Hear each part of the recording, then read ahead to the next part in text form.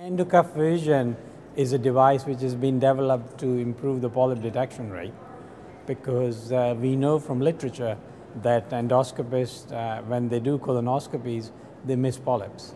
And that can vary between anything between 12% to 25% depending on the size of the polyps. So we miss more smaller polyps than larger polyps. So based on this, the companies have been working on various ways by which we can reduce polyp detection rate. And Endocuff is one of those devices which has been designed to help clinicians reduce polyp detection rate. So it's a novel device which is like a very transparent soft cap with some little soft flanges on the top so that when you pull the colonoscope out of the colon, it allows to uh, stretch the folds and that's where we miss polyps. Is a polyp behind the fold is difficult to see and this the, the prongs on this endocuff opens those folds up so we can see behind it. Uh, so that was the idea behind it and the early data with that showed some improvement in polyp detection rate. So that's why we decided to do a big, big randomized control trial to see how it performs in expert hands.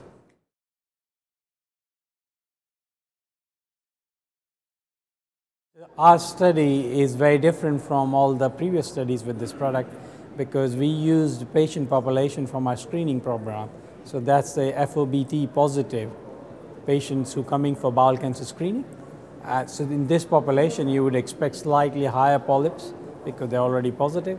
And then we chose endoscopists who are, are very, very good and expert in their fields because then that expertise we is certified by our national accreditation program. So in England, uh, you can only do bowel cancer screening if you have very good background data for five years, which shows very high polyp detection rate and a very low complication rate. Then once you pass that test, then you have to do a theory test. Despite the fact that you're practicing consultant for 20 years, you still have to do a theory test. If you pass that, then you have to do a practical test where you have to do two live colonoscopy in front of two assessors.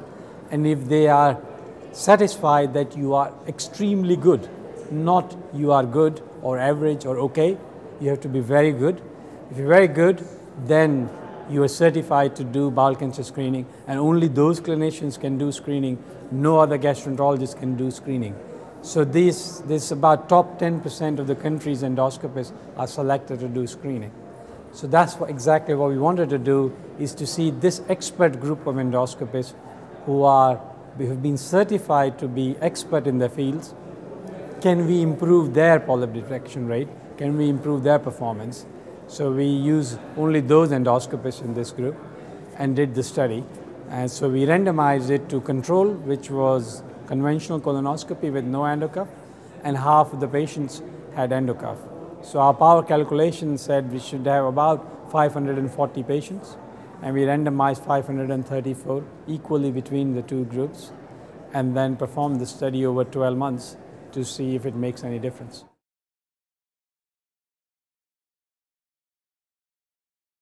So the primary results uh, were very much against what we were expecting uh, because we were expecting based on the previous data from these devices showing that it increased polyp detection rate. But unfortunately, we found that in this particular group of patients having screening and in expert endoscopies, as I described to you before, uh, this device doesn't add anything extra because our baseline polyp detection rate and adenoma detection rate was very high.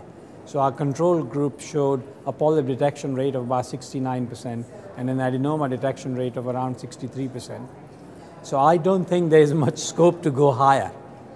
And I think that's one of the reasons why this device did not show any improvement in our study.